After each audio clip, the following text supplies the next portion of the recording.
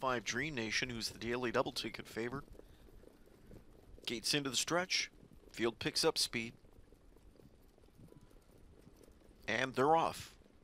Good beginning in the center. Gigandaw darting out of there along with Like Chaos. Like Chaos, quicker of the two, Gigandaw will race into the pocket.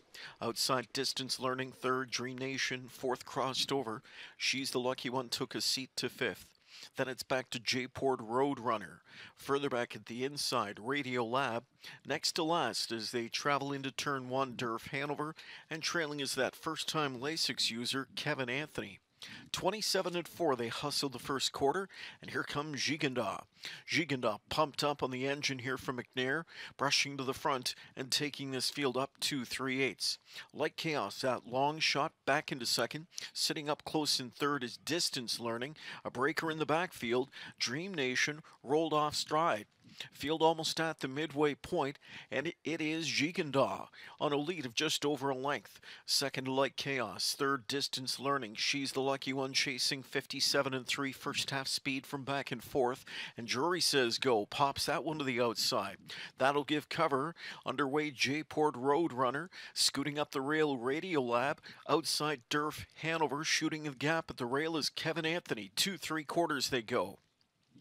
Gigandaw stretches out the lead to two as Like Chaos is back in second. Third inside ground saving ride for distance learning. She's the lucky one on the outside, stalling in fourth. Three quarters of 127. That was 29 and 2 speed third quarter. Gigandaw coming into the stretch leads it by two lengths. Like Chaos second, distance learning. Opts to shoot up the inside late for Jamieson. Still on the lead is Gigandaw. Distance learning continues to pick up the tempo late. It's Gigandaw, distance learning. Gigandaw clear by a length, and Gigandaw will win. Distance learning was second. Third went to Like Chaos. Radio Lab fourth in 155 and 3.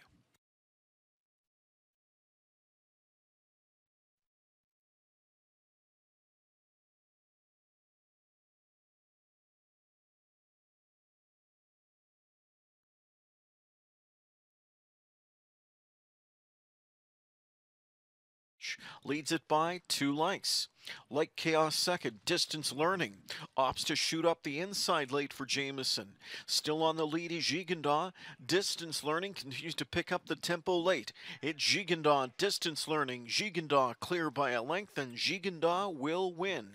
Distance learning was second. Third went to Like Chaos. Radio Lab fourth in 155 and 3. Race the six, Gigandaw.